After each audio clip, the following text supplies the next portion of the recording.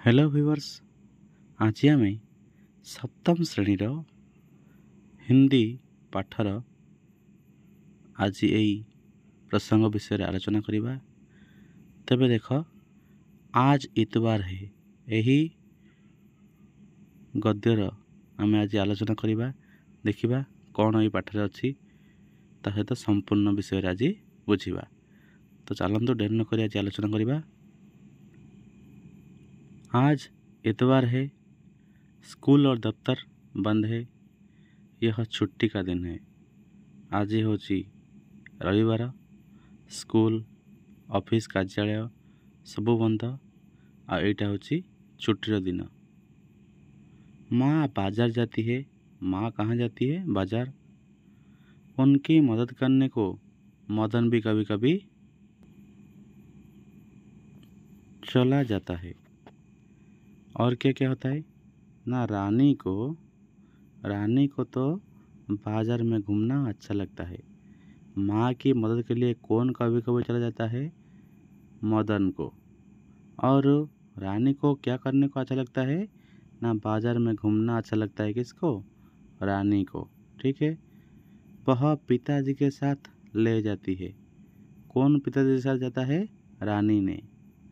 सब मिलकर ज़रूरत की चीज़ें खरीदते हैं। और सबको जो जो अपने को अपने के लिए ख़रीदना है, वो सब खरीद लेते हैं इतवार के दिन, है ना? तब देखिए।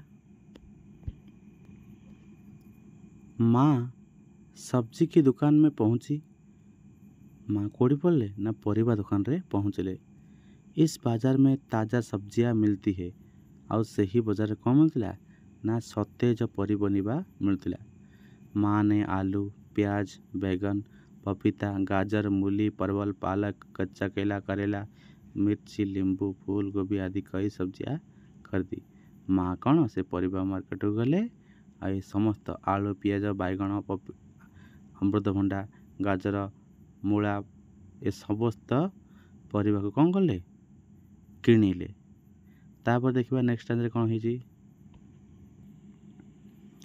रानी को कई सब्जियां के नाम मालूम नहीं थे रानी को क्या मालूम नहीं था ना कई सब्जियों के नाम उसको मालूम नहीं थे उसने उनको पहली बार पहचाना ଆଉ ସିଏ ସେ ପରିବାମାନଙ୍କୁ କ'ଣ କରୁଥିଲା ନା ପ୍ରଥମ ଥର କରି ଦେଖୁଥିଲା ମଦନ ହଲବାଇ କି ଦୁକାନ में ପହଞ୍ଚା ମଦନ କେଉଁଠି ପହଞ୍ଚିଲା ହଲବାଇ କି ଦୁକାନ ମାନେ ମିଠା ଦୋକାନରେ ପହଞ୍ଚିଥିଲା रोज़ स्कूल के लिए टिफिन ले जाना पड़ता है उसने कई मिठाइयाँ खरीदी ପ୍ରତିଦିନ ସ୍କୁଲକୁ ଗଲାବେଳେ ଟିଫିନ୍ ନେବାକୁ ପଡ଼ିଥାଏ ଆଉ ସେଥିପାଇଁ ସିଏ ଅନେକ ମିଠା ମଧ୍ୟ କିଣିଲା वहाँ शाश्वत मिल गया कहाँ मिल गया शाश्वत ना मिठाई के दुकान में मिठाई के दुकान में मदन को कौन मिला था शाश्वत मिला था उसने अपनी पसंद की मिठाई और नमकीन चीज़ें देखी किसने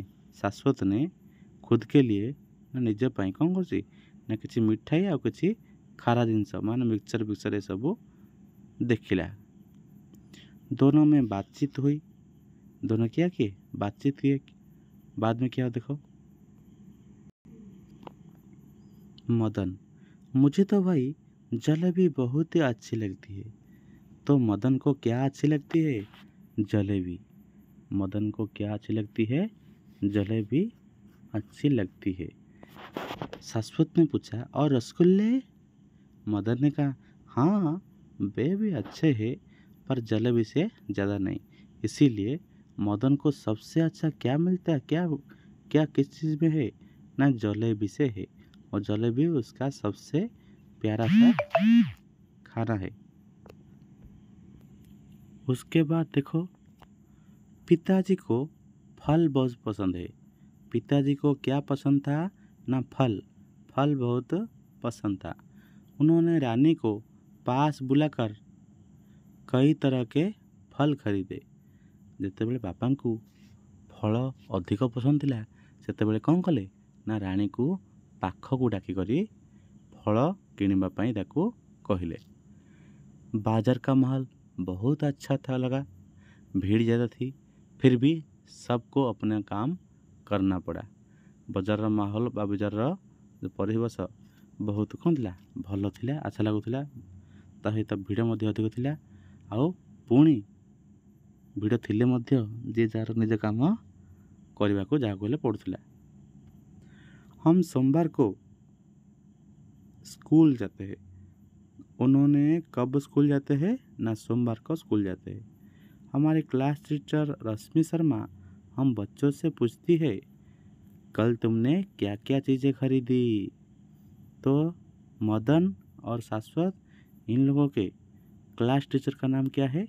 रश्मि शर्मा है। उनकी क्लास टीचर का नाम क्या है? रश्मि शर्मा।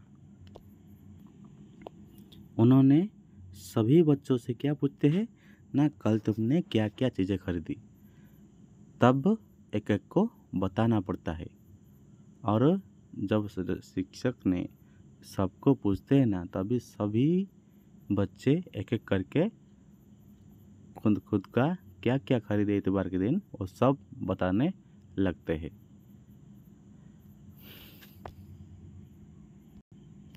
तो अच्छा बच्चे, ज़रा बताओगे कि तुम्हें भी ये कोई कहीं भी छुट्टी का दिन अगर गए होगे तो तुम लोगों ने क्या क्या खरीदते हो? बताओगे प्लीज़ कमेंट में? ज़रूर बताना। तो बच्चे लोग, वीडियो आज का कैसा लगा? कमेंट्स के माध्यम में बताने का और आप अगर नए हो तो इस चैनल को सब्सक्राइब करना मत भूलना, ठीक है? जो भी नोटिफिकेशन आपका आएगा, अगर आप सब्सक्राइब किए होंगे तो आपके पास पहले ही चला जाएगा। ठीक है? तो देर ना करते हुए लाइक को सब्सक्राइब करें चैनल को सब्सक्राइब करें और लाइक करें कमेंट भी करें। धन्यवाद।